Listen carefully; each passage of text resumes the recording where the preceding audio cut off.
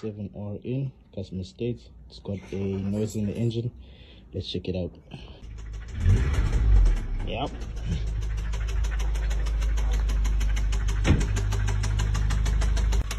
So got our first noise from the cylinder head which could be the tappets uh, hydraulic lifters.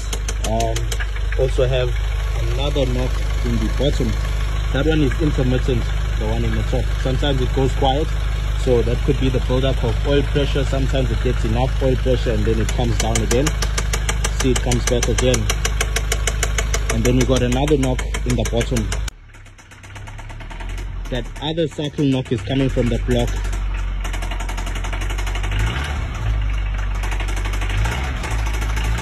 So it's got two knocks. One from the cylinder head another one from the block.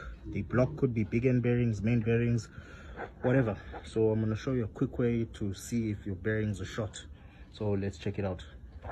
So firstly if you got the cardboard oil filter works out much better for you to to check it out.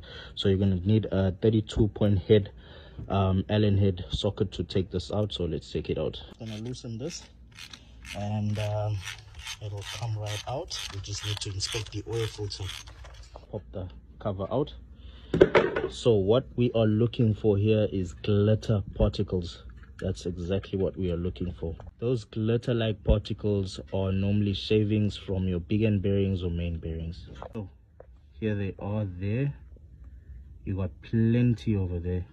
So you don't need to necessarily drop the sump in order to inspect if the bearings are gone in the car.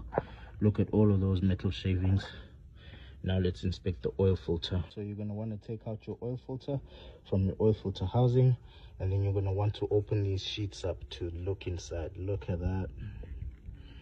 Shavings everywhere. So it's safe to say that the bearings on this car are finished. Absolutely finished. So next step is to drop the sump and um, to uh, inspect the bearings manually but we can already see that the bearings are finished on this car so it's safe to call the customer and let them know that they might be needing a new engine or the whole engine might be needing an overhaul. That's the easiest way to see the first symptoms if your engine is finished um, if your bearings if you suspect that your bearings could be finished.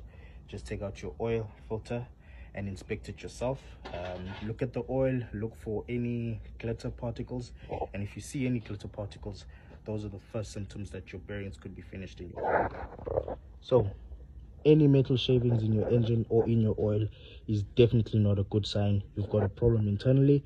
Might not be bearings could be whatever but metal shavings are definitely not a good sign